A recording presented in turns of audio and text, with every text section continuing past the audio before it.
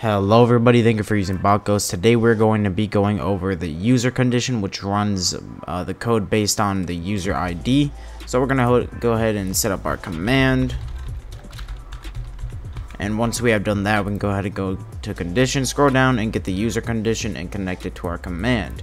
Now we need Discord ID, so what we have to do is go here, go to our Discord settings, go to advanced and turn on developer mode so you can actually copy IDs. And now we're going to copy my ID and then we're going to go back to our command and paste this here and add it as a condition. And now only me when I use this command the code under here will work for me. And then else will be all the other users that aren't any of the IDs on here. So we can go ahead and get a plain text reply connect it and say you are Ashton because that is my ID and if we go ahead and use the else statement and we can just do you are someone else and if we go ahead and save our command, go to our Discord server and run the actual command, it will say we are Ashton because it is our ID. And that is it for the user condition.